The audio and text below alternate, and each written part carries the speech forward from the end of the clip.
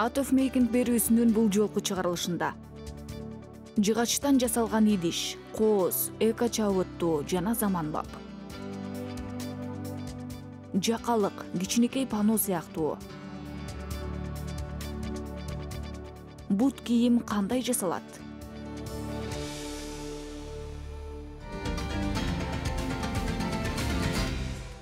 жыгачтан идиш жасап чыгуу салттары кылымдар тереңдегине кетет. Өзүнүн өмүр сүрүү сапарын алыска алып адам менен ажырагыс баарлашууда туруу менен жыгачтан жасалган идиш көрүнүшүн өзгөртүп келген. Бир түрдөн экинчисине өтүп заманбаптуулукка дагы айланган жыгач адам баласы иштеп чыга баштаган алгачкы материалдар курамына кирип келген жана бүгүнкү күнү дагы өзүнүн маанилүүлүгүн жогото элек аны пайдалануу мейкиндиги абдан кенен. Кичинекей буюм жана жасалгы элементтеринен тартып жыгачтан жасалган скульптура жана укмуштуу идишке чейинкини камтыйт.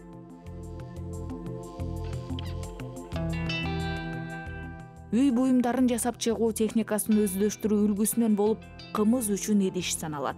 Бүгүнкү биздин баяныбыз анын укмуштуу жаралышы кереметтүү формалары оймолонуусу тууралуу болмокчу чтобы изготовить кумысный набор. Кымыз үчүн топтомду жасап чыгууда мен тегерек кылып казандын өзүн жасап алуу үчүн алдын ала даярдап алам.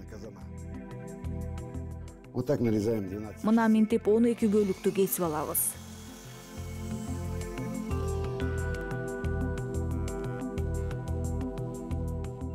Он эки бөлүктөн турган алдын ала даярдыктар тегерекке топтолот жана бири бири менен чапталат. Алар келечектеги шишенин дубалдары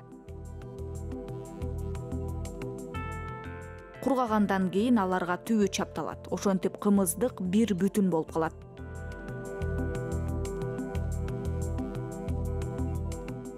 Шише жакшылап кургатылгандан кийин уста станокто ага форма берет. Жыгачтын ашык жерлерин кесип салат тегеректигин түздөп чыгат. Ошондо идиш туура келбетке келе баштайт.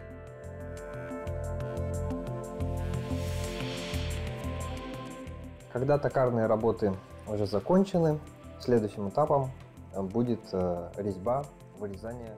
Жыгач усталык иштер акырына чыккандан кийин андан ары улуттук оймону түшүрүү башталат ал төмөнкү нукта аткарылат алгач калем сап менен калыбы түшүрүлүп алынат андан кийин атайы машинаны алып кесип чыга баштайм я беру специальную машинку и начинаю вырезать.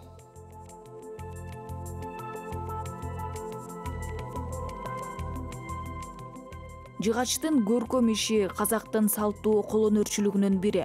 Азыр уста олуттуу казак оймолору менен контурдук кесип алуу аркылуу буюмду кооздоп жатат. Бул жүрүм абдан майда бөтөнчө чыдамкайлыкты талап кылат.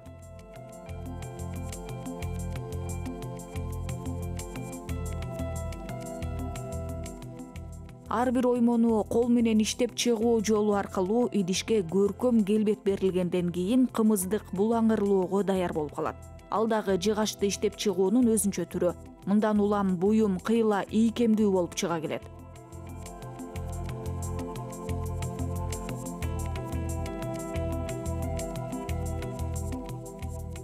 Ал эми көп учурларда булаңырлоо өндүрүштөгү айрым жетишпестиктерди жаап кеткенге дагы жардам берет.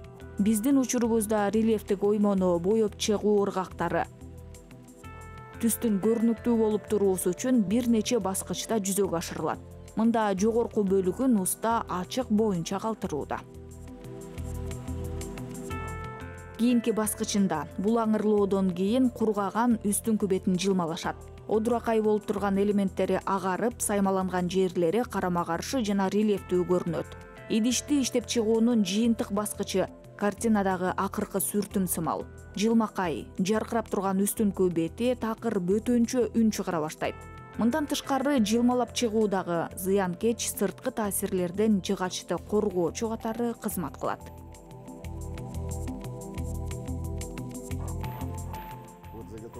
Бул буттарынын даярдыктары аны аралап кесип алып казанга чаптайбыз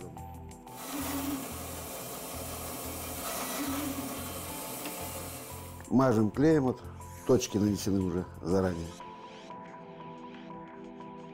Чаптагычты каптап туруп орнотулуучу орундар алдын ала белгиленип алынган шыбап туруп чаптайбыз.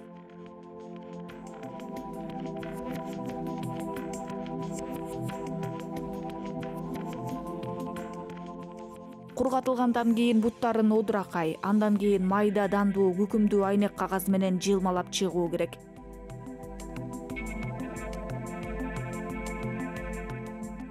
Андан ары уста саптарын жасаганга киришет. Алар иштеп чыгуунун узак сапарынан өтөт. Өзүнүн керектүү жеринен кесилип калганга чейин. Эми болсо кымыздыктын капкагын жасоо гана калды. Вот это заготовка на крышку. мына бул капкак үчүн алдын ала даярдык. Ал дагы жыгачтан. Азыр мен аны фланецке кыпчытып алып жооно баштайм. И будем точить.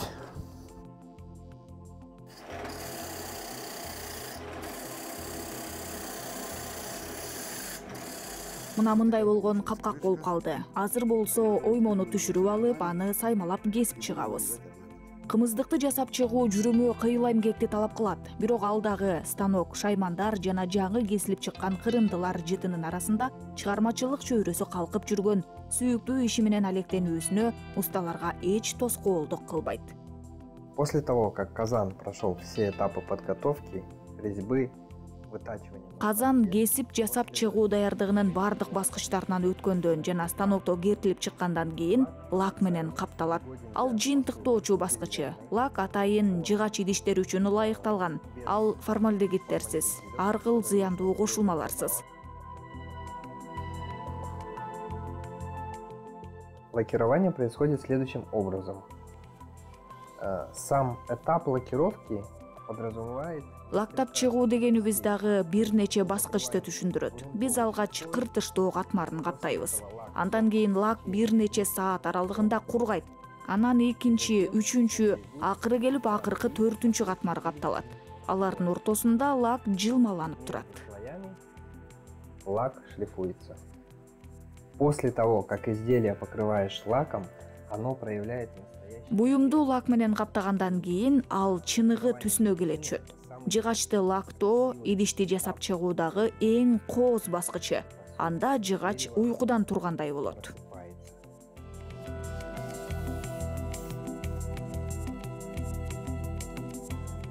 Жыгачтан идиш жасоо суктандырат бүгүнкү күндө баалуу дарактардан жасалган идиштер артыкчылыгы да ошондон болуп жүрбөсүн. Мындай буюмдардын мыктылыгы табигыйлыктан тышкары ден соолукка пайдалуу касиеттеринде анын бышыктыгында ошондой эле ысыкты өткөрбөстүгүндө камтылган. Буга катар тамактын узакка ысык абалда туруусун шарттайт. Ансыз деле жыпар жыттуу кымыз мына ушундай болгон идишке куюлганда бөтөнчө даам алат демек биздин бабаларыбыз кымызды дал ушул идиш менен татыганы дагы бекеринен болгон эмес экен. Кымыздык идишинин курамына он эки чыны жана чөмүч кирет. Аткаруунун өзгөчө шөкөтү ага стилистикалык жана табигыйлык бир бүтүндүктү берип турат. Ал дагы улуттук нухту мыкты белгилейт.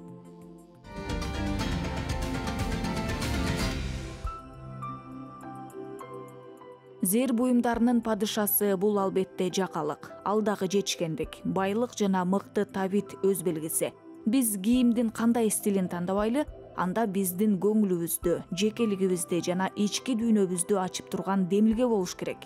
Жакалык күндүз кийген кийимге ийкемдүүлүктү жана кечки кийимге кереметтикти берип турат. Ал мына ушул үчүн кызмат кылат деген ишеничте сүрөтчү дизайнер айгерим карибаева. Анын иштери ар дайым заманбап техника жана жаңы материалдар менен айкалыштыкта улуттук демилгелерге ыкташып турат. Мен жасаган жакалыктар жалпы өндүрүштө жеткиликтүү материалдардан кыйла жеңил эле жасалып чыгат. Бардык сыры аны берүү анын сүрөттөмөсүндө эле камтылган. Менин картинамдын өзүндө ошондон улам жакалык ойной баштайт чындыгында материал жеткиликтүү алгач атайын жабдуу плоттор менен жакалыктын контурун кесип алабыз. Андан кийин менин сүрөттөмөм принттелип анын үстүнө эпоксид чайыры куюлат. Артынан ийне кептелип коюлат. Негизинен ошол эле. Анан жасап чыгуунун бүтүндөй жүрүмү.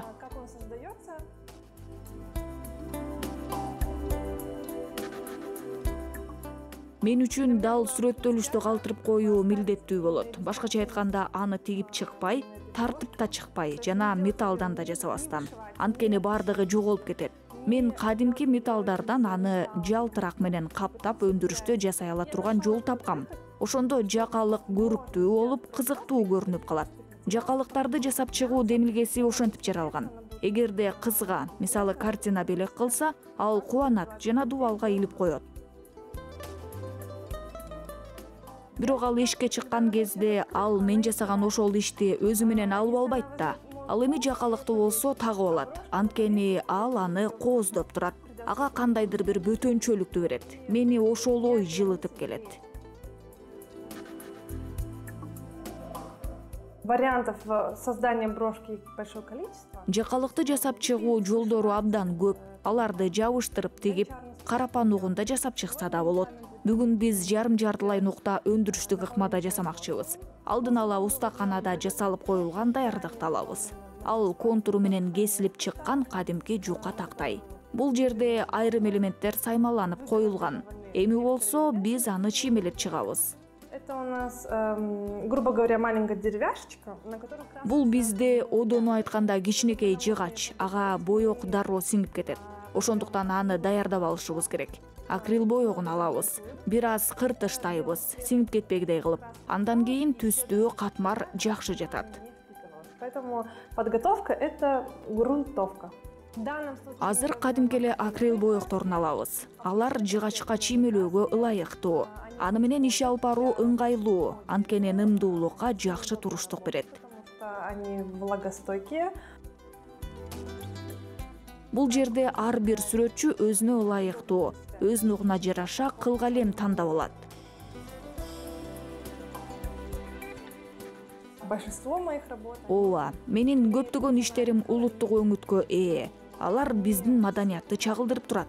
Түрк элдеринин маданияттарынын бүтүндүгү. Эмнеге деп да ойлонгом. Анткени мага жан дүйнөм тереңдигине чейин биздин маданият анын түпкүлүгү абдан кызыктуу. Интересно. Вообще наша культура, истоки ее.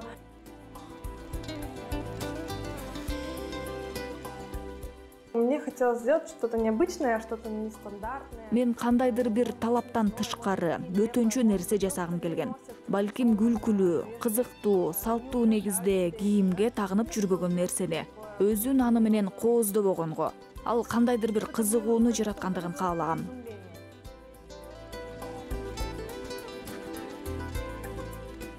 Пришел образ, что это должна быть пиалушка. Почему он ко мне пришел? Потому что ал кичинекей чыны болушу керек деп ойлоп таап алгам менде андай бар иш ордумда турат аны карап туруп жакалык сыяктуу кадимки кичинекей нерседе алкыйла олуттуу маанини бериши мүмкүн деп ойлоп койгом образом с достаточно глубоким смыслом, в принципе, на такой э, простой вещичке, как моя брошка.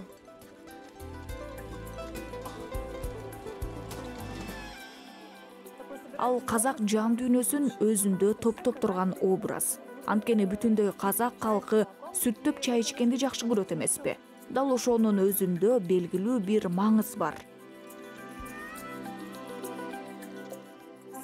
Жакалыкты жасап чыгуунун кийинки баскычы биз аны сүрөттөп чыгабыз. Ага түс берип бөлүктөрүн тартабыз. Прорисовываем детали.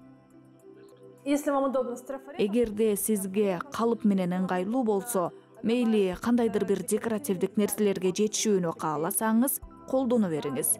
Сиз аларга жалтырак шуруларды да чаптасаңыз болот. Бүтүндөй чыгармачылык жүрүм. Бул жерде эч кандай чектөө жок. Акриловая краска высыхает. чындыгында акрил боегу абдан тез кургайт.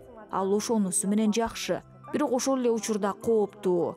Андыктан катмар катмары менен иш алып барыш керек На самом деле можно... анан да лак же пва чаптагыч менен дагы каптап койгонго болот. Же эч нерсе менен бекитпей койсо деле болот.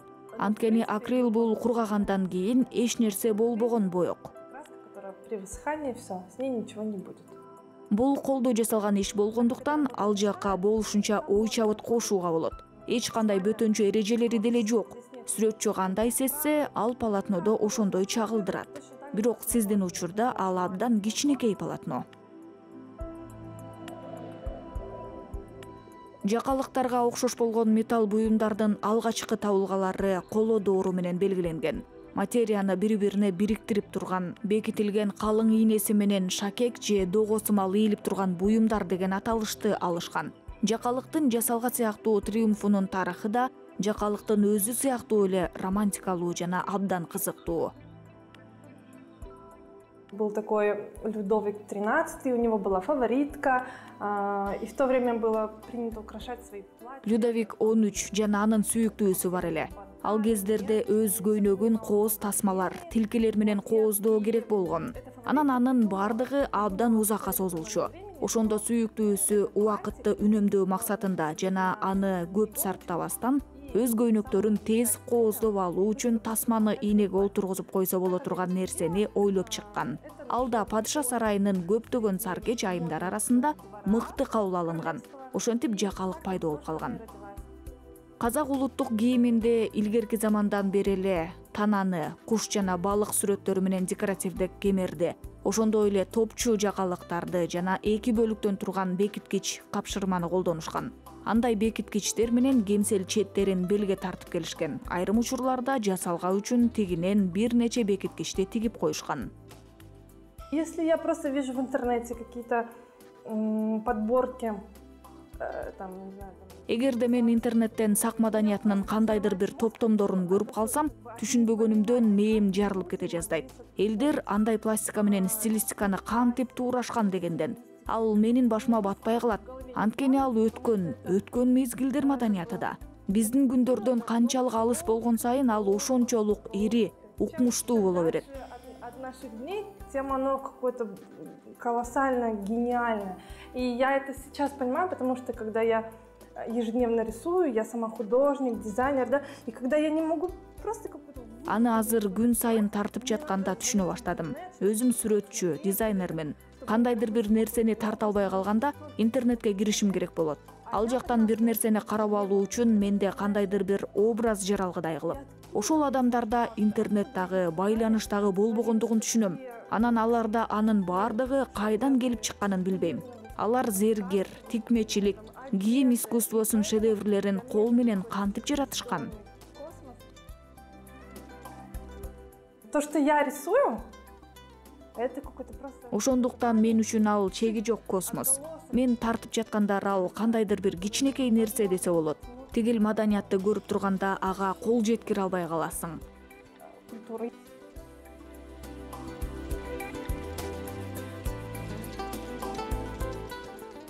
Мне хочется ошол оймолорду дайыма тарткым келе берет. Ар дайым ар дайым. Мына бул май боегу менен аткарган акыркы ишим азыр май боек менен абдан сейрек тартам. Анткени мүмкүнчүлүк жок. Бирок тартып жатканымда ушул сыяктуулар жаралат. Мага ал жакта оймолор болсо гана болду. Андан качан чарчайт болду экен билбейм.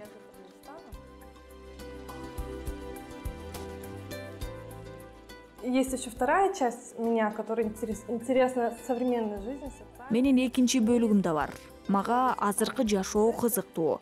Башымда социалдык сюжеттер бар бирок убактым болуп калган учурда балдарымдын баардыгы уктап жатканда олтуруп алып ушундай болгон оймолорду тарткым келет.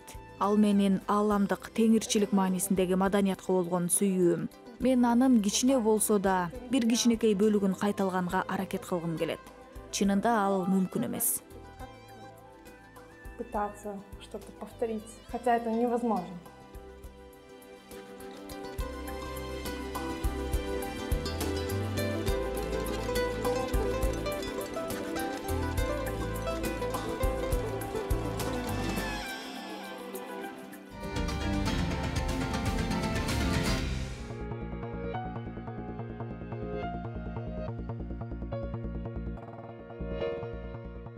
Бизди сууктан тайгак жолдордон кайнап турган асфальттан жана чаң баскан жолдордон сактап турган бут кийимсиз өз жашообузду элестетүү кыйынга турат. Орточо алганда бир күн ичинде адам он миң кадам же сегиз чакырым басып өтөт. Бут кийим кандай жасалат? Бийик таканы ким ойлоп чыккан? Ушунун баардыгын силер биздин программадан көрө аласыздар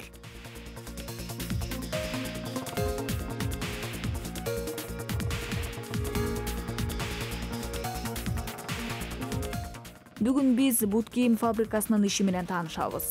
Жылына беш жүз миң жуп бут кийим чыгарган бул ишкана эки миң он биринчи жылы негизделген. Азыр кыйла ийгиликтүү иштеп жаңы үлгүлөрдү иштеп чыгууда. Алардын саны жетимиштен ашат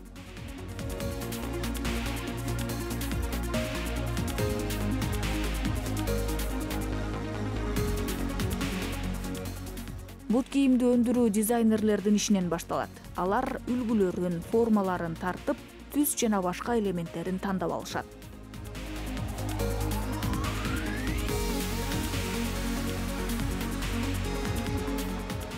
Үлгү даяр болгондон кийин ал көзөмөл жана тестирлөөдөн өтөт. Тиешелүүлүгүнө жараша өзгөртүүлөр жана толуктоолор киргизилгенден атайын адистик кеңештин жактыруусунан өткөндөн кийин бут кийимди түздөн түз жасап чыгууга жөнөтүшөт биринчи баскычы бычма цехинен атап айтканда бут кийим үчүн материалды гидравликалык кысуудан башталат. Бул цехте иштегендер материалды туура бычып чыгуу үчүн геометрияны жакшы билүүсү керек. Археологдордун маалыматтары боюнча биринчи бут кийим палеолит доорунда евразияда пайда болгон экен аны жасап чыгуу үчүн жаныбарлар терилери эмен кыртышы жана камыш колдонулган. Ал эми батегин ар башка чөп жана өсүмдүктөрдөн жасашкан.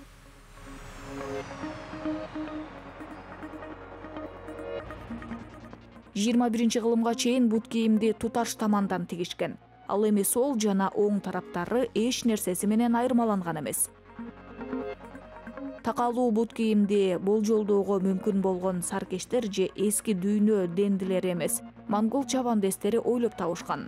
Алардын максаттары бышыктыкта болгон. Така ат менен кетип бара жатканда бут үзөңгүдөн чыгып кетпеш үчүн керек болгон. Кийинчерээк бийик такалуу бут кийимди өзүнүн ордун жана башкаларга караганда артыкчылыгын көрсөтүү үчүн европа чиндери кие башташкан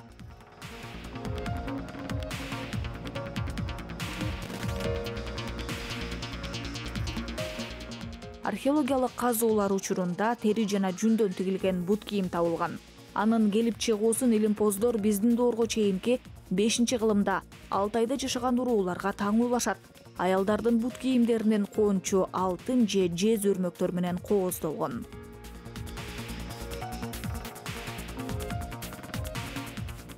Казактарда бут кийимдин кепич маасы чалтаман байлак чокой сыяктуу түрлөрү абдан белгилүү илгери эгерде бүтүндөй үй бүлө үчүн бут кийим тигүү керек болгон болсо буйртмачы өтүкчүнү бир нече күн аралыгында үйүндө коноктогон. Байыркы замандан эле колөнөрчүлүктүн бул чеберлери сыйлуу болуп келген.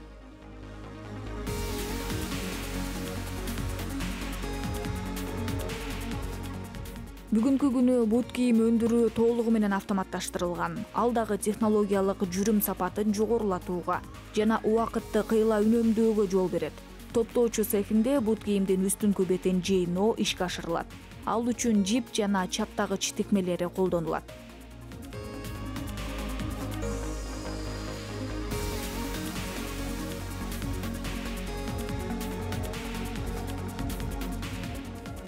Андан кийин жарым даяр болгон бут кийим куйма цехине жөнөтүлөт. Ал жакта адистер атайы жабдуунун жардамы менен жогорку бышыктык аба ырайы шарттарына механикалык жана химиялык таасир этүүгө туруктуулук касиеттерине ээ болгон полиуретандын таманын бекитишет.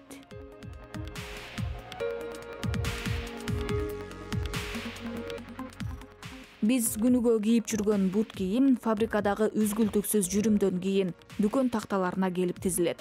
Анан ушул жерден анча чоң эмес кеңеш бере кетели бут кийимди түштөн кийин сатып алуу жакшы болот. Дал ошол кезде сиз көлөмүнөн жазбайсыз анткени түштөн кийин адамдын буту бир аз шишип калат эмеспи.